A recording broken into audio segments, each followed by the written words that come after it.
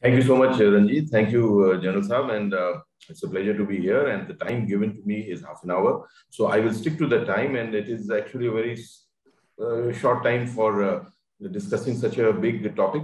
So anyway, but I will stick to the time limit. So I do not have a presentation to present, and I will do it in my words and pre present my ideas before uh, all the delegates who are here in this conference. Good morning to everyone. And let me immediately get to the topic. First of all, uh, I would like to say this that uh, I have actually worked in five continents as a police officer. This was maybe not said in my uh, resume, but anyway, yeah. the, the, CV seems to be a little old also. But anyway, um, what I want to say is that after working in five continents, I've actually worked there. I've not gone there for some tourism or some training or something. In five continents, I worked as a police officer in Africa, in uh, Europe, in North America, in uh, Central Asia, and in South Asia. I have worked as a police officer. As a result, I have seen the security scenarios and the crime problems and the crime situation in major part of the globe, you know, um, most part of the globe, I could say that, that I have seen it, dealt with it and worked there, as I said. So after seeing this kind of security scenarios all over the world, the concepts of public security, the threats to citizen security, uh, in my experience, I can tell you one thing as of today, if you have to identify one of the biggest threats to public security in today's date and time, then one of the top threats would be cybersecurity for the citizens. That is one of the topmost threats. According to me, it may be number one. But even if you don't agree with that, you must agree with me that in the top one or two would be the threat uh, because all of us are cyber uh, area people who have worked in this area, whatever. So uh, it must be clearer to us that it is one of the biggest threats and in the number one or number two spot. It is that big a threat. It is not a small matter. It is quite a serious matter. But being human, we are all human beings, you know, so we all live in the real world. Uh, this actual world, real world, physical world, this world which surrounds us, we all live in this world. So we are always excited by what happens in this world, threatened by what happens in this world around us, uh, maybe even intimidated, maybe even, you know, worried about what is happening in this actual world, uh, physical world around us cyber world people citizens generally feel is something you know very intangible something you know remote and all that. So what is happening there?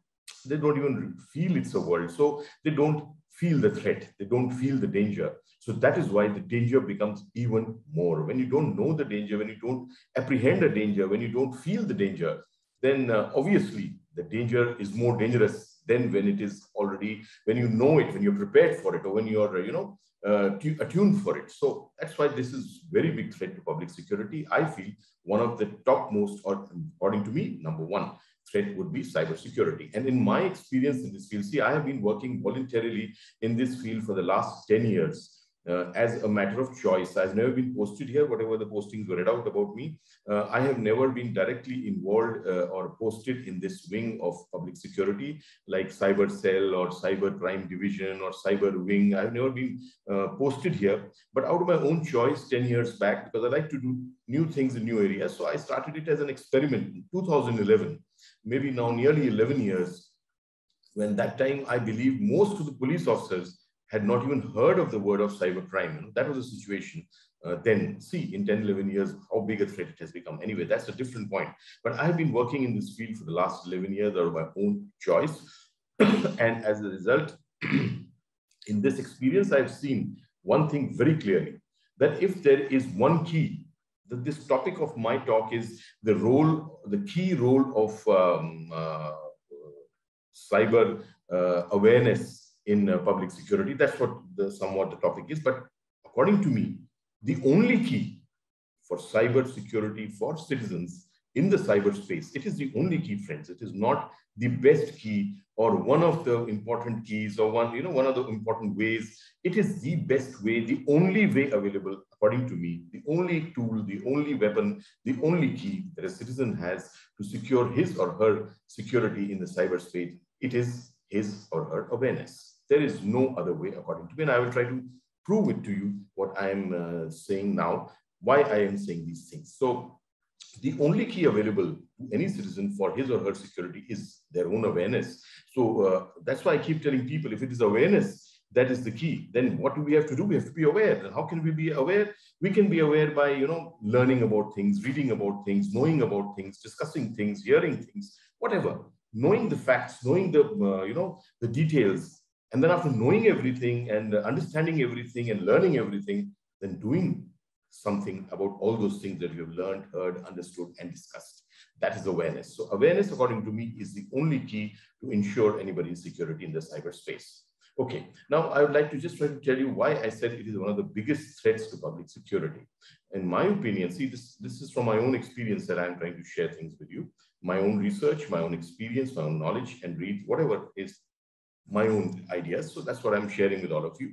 So according to me, there may be many reasons for uh, it to be one of the topmost threats to public security. But according to me, I would like to present this fact that I have seen crime all over the world, as I've told you before. I have dealt with all types of crime all over the world. And after seeing all types of crime all over the world and having dealt with all types of crime all over the world, I can tell you one thing.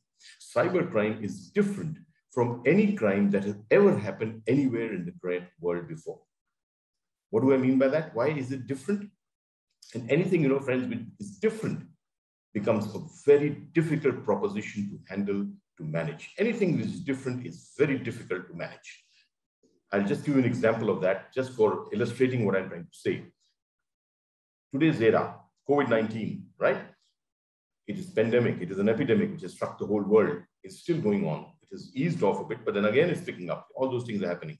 But what I would like to say is, why is it such a big challenge to, you know, have pandemics and epidemics never come before? Of course they have. In my lifetime, I've seen plenty of them. You know, all of you must have. Uh, bird flu, swine flu, Ebola, AIDS, what have you. You know, so many pandemics, epidemics came. People uh, predicted the worst, but it never happened. They were managed and everything went on normally. What was there in COVID-19 which made it such a big challenge? That the whole world changed. Whole humanity came to a standstill. What was it? The fact was, according to me, it was different. This kind of virus, this kind of pandemic had never struck humanity before. A pandemic which changes, its, uh, which mutates so fast. A pandemic which, uh, virus which affects all the organs of the body in different ways. Never heard of it. A, a, epidemic, a, a kind of a virus which requires different behavior to deal with it. Masking yourself, social distancing, maintaining that, uh, cleanliness, you know, washing your hands, sanitization, what they part of normal human behavior? They were not. Now people are getting used to it. And so the things are getting better. But was all these this behavior a part of human, normal human behavior? It was not. Similarly, very rapidly changing, very rapidly affecting, coming in waves kind of virus. So all these things combined, it was different. So it became such a big challenge to handle. It's getting better, as I said now, but the whole world has changed. The whole humanity, as I said, has been affected. Similarly, cybercrime, as I said, is a crime which has never, this type of crime has never affected humanity before. That is why the entire security systems, you call it, law enforcement agencies, the police system, whatever, all over the world, I'm not only talking about my country, all over the world, they are in actually um, uh, confusion. What should we do? What are the procedures we should adopt? Legal, uh, physical, you know, uh, security measures. What should we do to secure people better in the cyberspace? The citizens on their part are also confused. What is the behavior patterns and how should we exist in this space so that we remain secure? So when the systems of security and the citizens also are both in a way confused how to deal with this kind of new challenge, that is why it's combining to become such a big problem. That's why I said anything different is very difficult to deal with. Cybercrime is different and that is why it is becoming such a big challenge for humanity. Believe me, I have 30 years experience in policing. The systems of policing which have been developed, maybe variations all over different places, different parts of this country, different parts of the world, minor variations, but basically facts remain the same. You know, doing patrolling, checking of uh, bad characters, of vehicles, of people, of places, um, preventive action against uh, uh, people with record, whatever. These are preventive policing measures which have been developed in and many others like this to um, protect citizens, you know, uh, ensure security for people in this real world. But do these systems work in a cyber situation?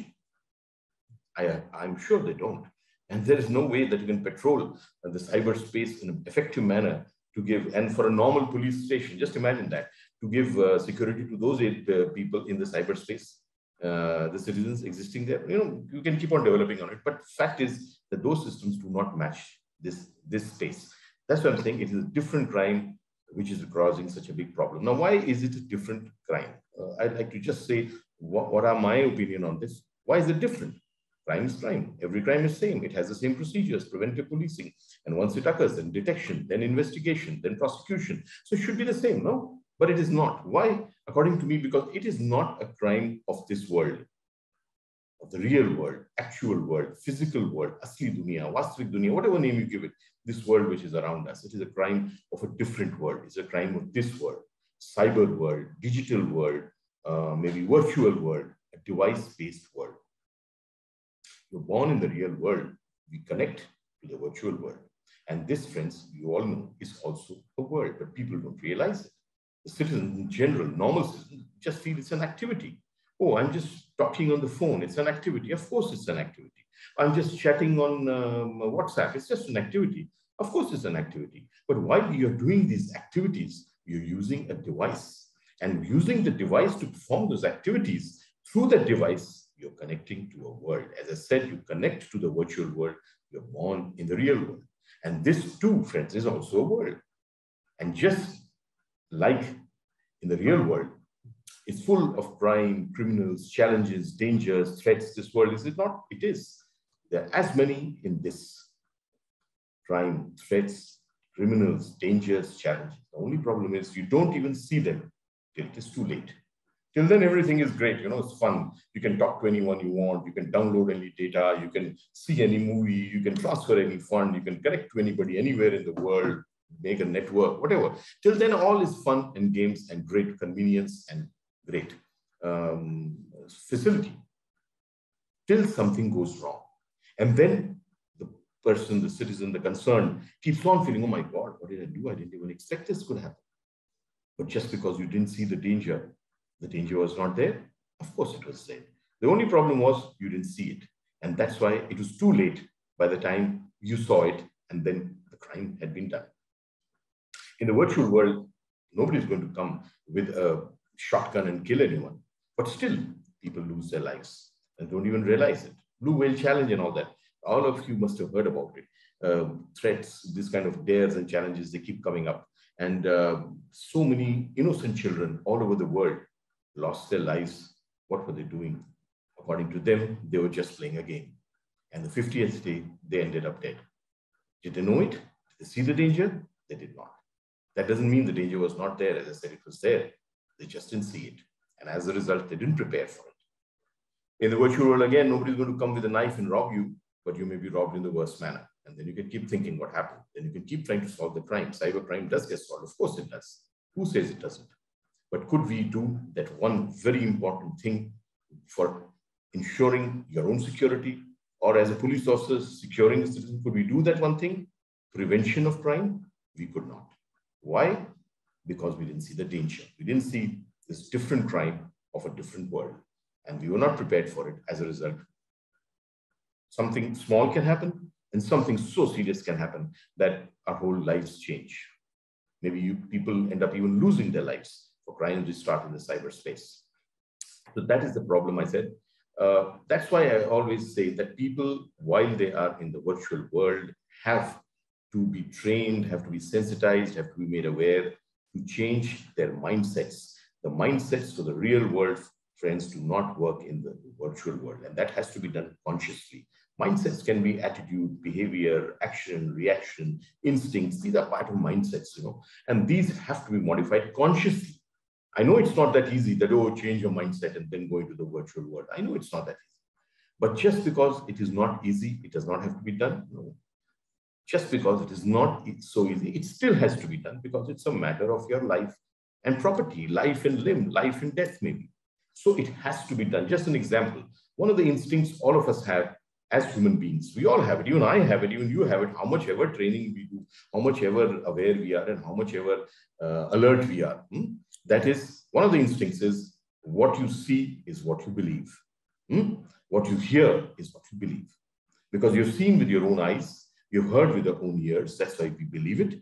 And on basis of that, we take an action, reaction in a situation or whatever. Based on what we have seen or what we have heard, it's an instinct because we believe it. Now, suppose this instinct we start putting into this world.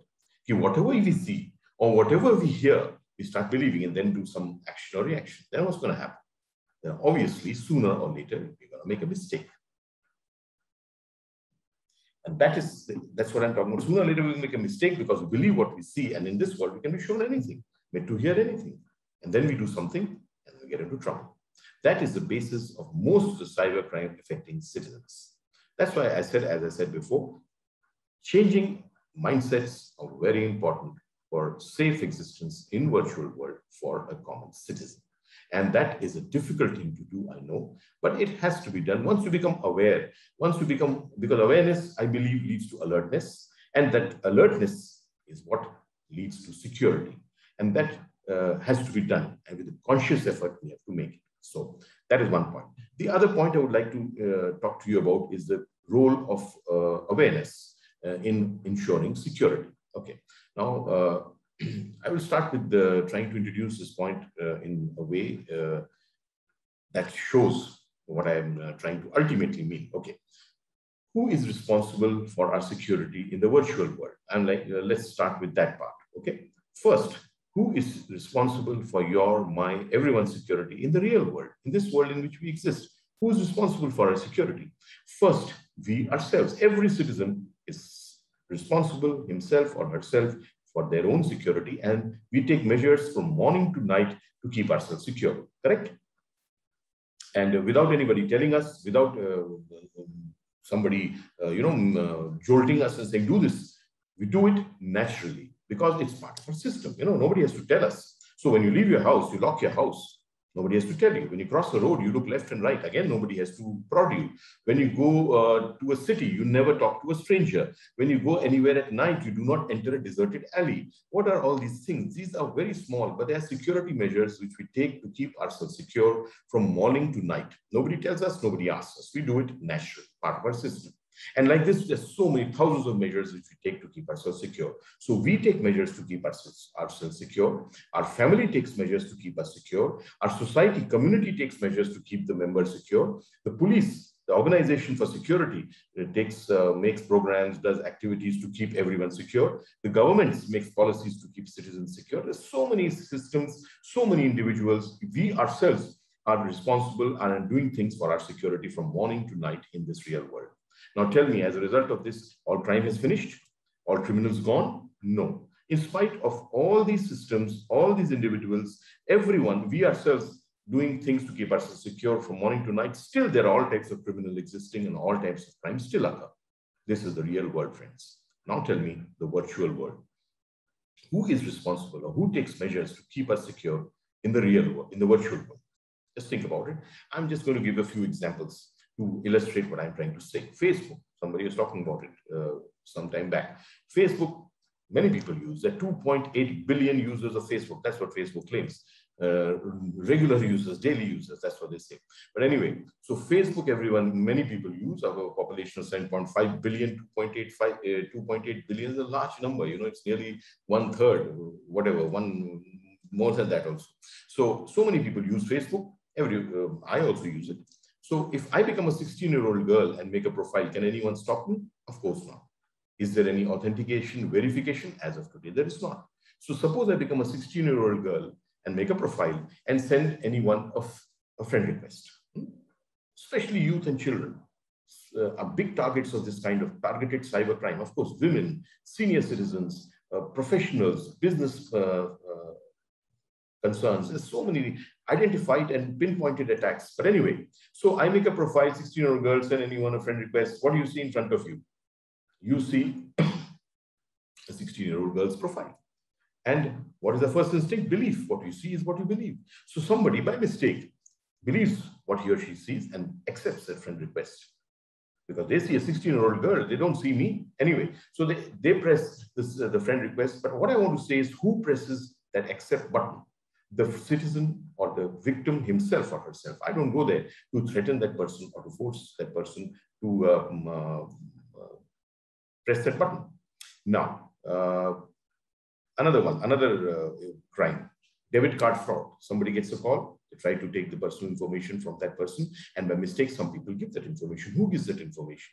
The victim himself or herself. Another one, suppose I want to control somebody's device, then what do I have to do? I have to send a virus, of course. If I send a virus and write below this that this is a virus downloaded, Will that person download it? Of course not. So I will send something which that person will download.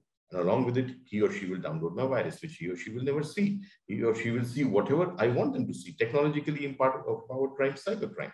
Anyway, so I send a virus in some form to somebody and they, by mistake, they press the download button and download that virus into the device. What I want to say is, who presses the button? The victim again, himself or herself.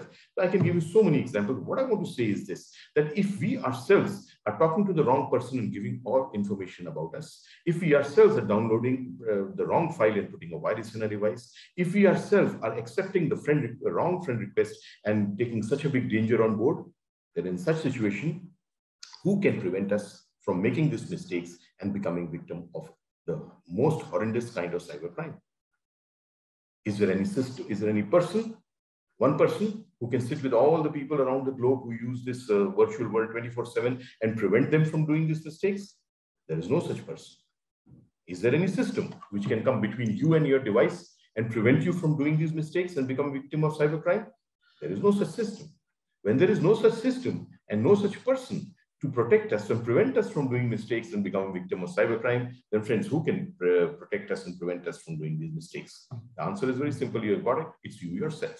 So only you, the person, the citizen, we ourselves can take measures to keep ourselves secure in cyber world. There is no other system. There is no other person as of today. Tomorrow something else might happen. I do not know. But as of today, it's a fact. I'm talking about citizen security. Please do not, uh, uh, you know, confuse with the cyber war or, you know, uh, corporate cyber crime. It's citizen security which I'm talking about. So it is the citizens who have to take measures to keep themselves secure. There is no other system and no other person. The mistakes are made by them themselves. Maybe by, by mistake, mistake by mistake. But anyway, it's still a mistake. So then when will that person be uh, uh, protect himself or herself? From uh, prevent from making mistakes and then uh, protect themselves from cybercrime? Again, it's very simple. When they know things, you know, no, knowledge is very important. Knowledge, learning, understanding, information. I told you, all these things are very necessary. The person must know it. Then only they can uh, protect themselves. But knowing is not enough. It is knowing and then doing those things. That is awareness. And that is what I'm stressing on. It is not only knowing. People feel that they know things that they know the facts, they have knowledge, they have understanding, so they, they are aware. No, you're not aware. You are knowledgeable. You are you know things. Awareness comes when you know those things and you do those things. That is awareness because many people in this country know wearing a helmet is good for their own security when they drive a two, two-wheeler. Wearing a mask is good for you when for your health security during this pandemic time. But still many people don't wear it. They are knowledgeable, but they're not aware. So then I'm saying awareness means knowing and doing and that is the only way that a citizen can secure himself or herself in cyberspace. And I've told you there is no other way, there's no other system, there is no other person. It's a matter of things between you and your device. I always say cybercrime for an individual is a crime which happens between a user and his or her device. Nobody can come between you and your device except your own awareness and protect you from cybercrime. So this is very important. And knowing and doing also when? Knowing and doing every time. You know, I always say security is a habit. It's not a choice. That you do it sometimes and sometimes you don't. You lock the house sometimes and go out and sometimes you leave it open. We do it like that, we don't do it. In the virtual world, I've seen because I told you again and again, people don't see the threat So sometimes they take some security, secure measures, and sometimes they don't. But that is not security. That is zero security because security is a habit, it's not a choice. So you have to know, you have to do, and you have to do every time. Then only you'll be secure in the virtual world. And uh, as I said, awareness is the only key for ensuring your security in the cyber world. I think to a large extent, I've tried to prove what I have said. Uh, for any citizen, it is a fact. That's all I wanted to say. Uh, I would like to stick to the time, as I said. So thank you so much. Uh, there's so many other things which you can introduce and keep on speaking, but um, I think that's not the right time or the platform. So I'll limit myself to this. Thank you so much for giving me the opportunity. And I uh, wish everyone a wonderful conference uh, to come. Thank you so much, Ranjit.